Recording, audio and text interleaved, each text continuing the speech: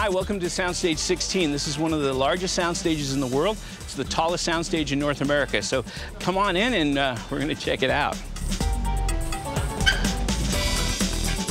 This soundstage has 32,000 square feet of production area.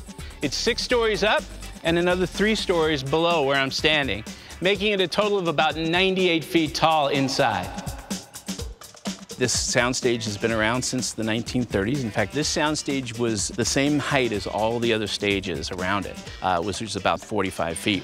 But they were doing a movie here at the end of 1935 called Cain and Mabel. It was a musical with Marion Davies and Clark Gable.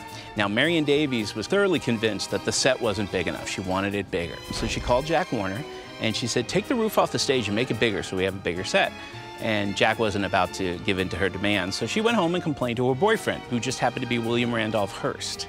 And he called Jack, and Jack said, okay, you pay for it and we'll do it. And Hearst said yes. Um, now, because of the shooting schedule in here, they didn't have the time to do the normal thing, which would just be, you know, rip the roof off and build it up. So they did something that today you probably couldn't do because it would be too dangerous. They surrounded the outside of this building with several hundred guys in hand jacks, like you jack up a car. And they put four big bass drums outside on each corner. And every time those guys would beat on the drum, everybody would crank the building up together in synchronization. When they got it about a foot off the ground, they put railroad ties underneath. Then they jacked it up another foot, and they kept crisscrossing the railroad ties till eventually this thing was standing at its current height, which is 98 feet. Uh, but on big wooden legs in the middle of the air.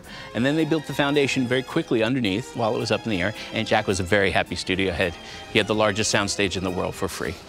If we were to attempt to raise a soundstage today, I would guess it would cost about $3 million to do that. It would be done very similar as they did, except a little more sophisticated. I think what they would probably do is just build a new stage. This soundstage has been the home to all the old Busby Berkeley musicals of the 1930s and 40s. Uh, Busby Berkeley had his camera crew way up on those uh, catwalks up there and shoot the dancers straight down so they would make those great geometric patterns that you used to see in the musical. But it's a, a massive place. It looks like an airplane hangar. And we've actually had an airplane in here. We had a full-size 747 in here for executive decision with uh, Kurt Russell and Halle Berry. This soundstage has been used for so many huge uh, films over the years. The floor that we're standing on is completely removable, and it goes down another 25 feet from where we're standing. In fact, the entire inside of the soundstage can be flooded with water, and it can be turned into an ocean. That's where we had the Andrea Gail from Perfect Storm. The entire inside of the soundstage was wrapped with a blue screen, and computer-generated waves around the ship were all put in later. But the actual water hitting the ship, we had uh, dump tanks in the ceiling dumping thousands of gallons of water down chutes and then it would shoot out onto the ship. And the ship itself was mounted to a gimbal under the water so they could rock it back and forth. Uh, the last really big water movie we did in here was in 2006. We did the movie Poseidon with Kurt Russell and uh, Emmy Rossum, and they had an upside-down ocean liner set in here.